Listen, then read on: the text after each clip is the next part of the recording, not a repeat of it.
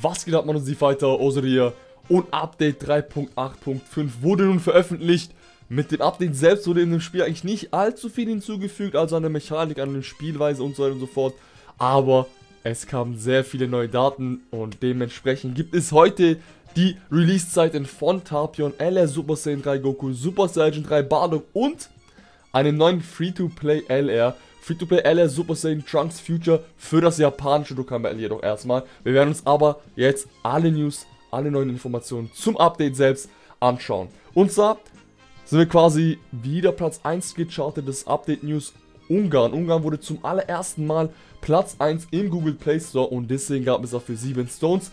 Weil es das allererste Mal war, gab es eben die 7 Stones und weil es ähm, nicht bei beiden Stores war. Weil wir wissen, normalerweise muss eine Region auf beiden Stores, iOS und Google, ähm, also im App, App Store und Google Play Store, Platz 1 gechartet sein, damit man 7 Stones jeweils bekommt.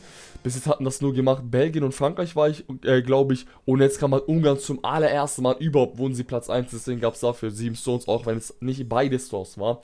Genau, anyways, nehmen wir an. Ich hoffe aber, die anderen Stores ziehen mit in den anderen Regionen, weil viele Regionen wurden zwar Platz 1, aber nur in einem Store.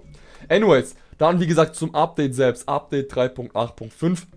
Da kam nicht viel hinzu. Standardzeugs erstmal ein paar Bugs wurden gefixt und User Interface wurde angepasst.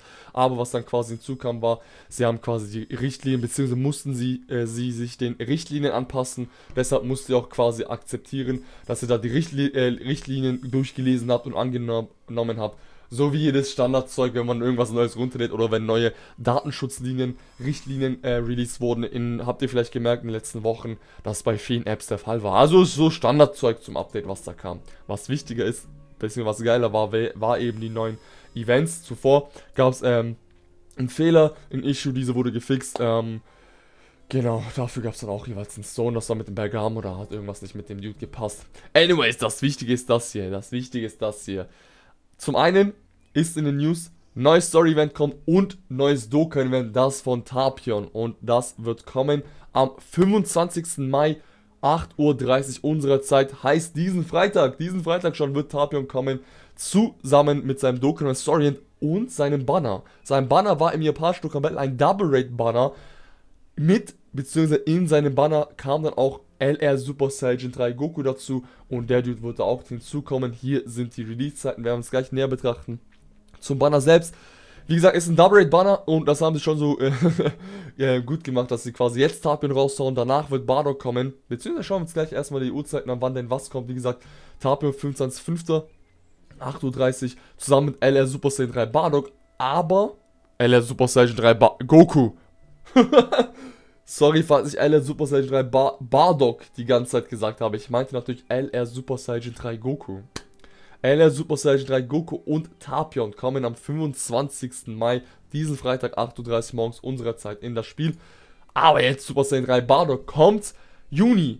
4. Juni erst, 4. Juni 8.30 Uhr unserer Zeit. Er ist jetzt schon in den Daten gekommen und ähm, Erstaunlicherweise wissen wir jetzt schon, wann er rauskommen wird. Heißt, für die nächste Zeit wissen wir, Tapion kommt jetzt am Freitag und dann nach Tapion und nach äh, Ultra Instinct Goku etc. kommt Anfang Juni dann Super Saiyan 3 Bardock. Heißt zum einen für euch, Double Rate Banner, wie gesagt, ähm, diese Double Rate Banner, da sind die SR Drop Rates verdoppelt und das sind eigentlich quasi ein LR Banner, wenn ich ehrlich bin. Diejenigen, die LR Sum wollen, die Super Saiyan 3 Goku wollen, ist vielleicht, gar, ist vielleicht die, eine gute Option auf jeden Fall dafür. Zum Banner selbst wird noch eine Preview kommen, aber ich sag's mal ganz kurz aus vorweg. Ähm, weil wir GSR-System haben, sollten wir eigentlich haben, auch wenn in-game keine äh, ähm, offizielle News rauskam, wurde das trotzdem eingeführt. Warum sage ich das so klar? Weil selbst das Dokkan Festival Banner von Ultra Instinct Goku war GSSR und wenn ein Dokkan Festival Banner GSR wird, das gab's noch nie. Dann heißt das für mich, das wurde umgesetzt. Heißt, in dem Double Rate Banner habt ihr auf jeden Fall eine sehr gute Chance, LR zu, zu ziehen. Die Grades sind erhöht und pro Multistar bekommt garantiert einen Charakter. Dieser ist zu 95% nicht gefeatured, 5% gefeatured und diese 95% nicht gefeatured könnte ein LR sein. Und in dem LR, beziehungsweise in dem Banner werden viele LR sein. Alle LR, die es bis jetzt gab. Auf der anderen Seite jedoch, merkt euch, Bardock kommt Juni, falls ihr Bardock spart für Bardock und Juli kommt sogar LR Vegito und Gogeta zum dreijährigen Jubiläum. Stand, äh, apropos Juli. Bardock kommt Anfang Juni online, sollte drei, vier Wo drei Wochen ungefähr online sein. Dann haben wir nochmal drei, vier Wochen Zeit. Eventuell wird da irgendwas vorgezogen oder etwas Dickes kommt. Und ich hoffe auf Natürlich hoffen wir seit langer Zeit auf 250 Millionen Downloads, aber ob das vor dem Dreijährigen direkt kommt oder mit dem Dreijährigen, müsst ihr abwarten, müsst ihr abwarten. Nur damit ihr, damit ihr jetzt grob eine Timeline habt, okay? Ähm, Tapion, Goku kommt, Anfang Juni kommt Bardock, das sollte 3-4 Wochen online sein und dann hätten wir noch 3-4 Wochen Zeit bis zum Jubiläum und da könnten sie irgendwas noch reinpacken. Irgend, vielleicht irgendwas Special oder sie ziehen halt irgendwas vor. Wir wissen, wie das in Global läuft. Tals könnten sie vorziehen oder Super Saiyan Blue Evolution mit äh, Jirens Awakening. Müssen wir abwarten, müssen wir abwarten, nur damit ihr eine grobe Timeline hat, habt, was jetzt genau kommt. Und, genau, fürs japanische Dokkan nächste Woche am 30.05. 10 Uhr morgens unserer Zeit kommt ein neues Event. Ein neues Prime Battle. Was ist ein Prime Battle? Prime Battle sind die LR Events. LR Freezer Event und LR Goku Event ist ein Prime Battle. Und jetzt kommt ein neuer dazu, das von LR Super Saiyan Trunks Future. Wird richtig, richtig geil. Wobei dieser Trunks mich an den momentan Int Free-to-Play Trunks erinnert. Den konnte man erfarmen, da konnte man ihn einmal erwecken, jetzt konnte man ihn wieder erwecken, neulich zum TOR. Ich, ob man diesen dann zum L erweckt, bin ich mir nicht sicher, weil so Prime Battles, da äh, äh, droppen die Charaktere eigentlich aus dem Prime Battle. Ja, LA Goku droppt aus seinem LA Event, LA Freeze aus seinem LA Event. Ich denke, das sollte eigentlich ein neuer Trunk sein. Kann mich aber, kann mich aber auch irren natürlich. Kann auch anders kommen. Müssen wir abwarten, 30.05. ist das Ganze online, da ein bisschen mehr. Anyways, das war's eigentlich schon. Kurze, knackige News. Wie gesagt, ähm, zum Update selbst kann ich viel hinzu, könnt alles nachlesen, aber das dicke bzw. interessante ist dann natürlich Tapion Release mit seinem Story-Event, Dokkan-Event, mit, ähm, mit seinem Banner quasi kommt das Ganze online mit LR Super Saiyan 3 Goku. 25.05.38 unsere Zeit. Danach kommt Bardock, 4. Juni, 8.30 unsere Zeit. Und nächste Woche kommt dann ein neuer Free-to-Play LR Super Saiyan Trunks Future.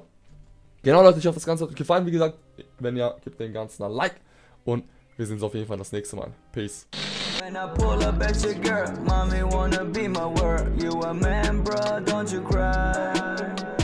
I'ma get her back after I'm done, I'm done. Next time you ain't won't be around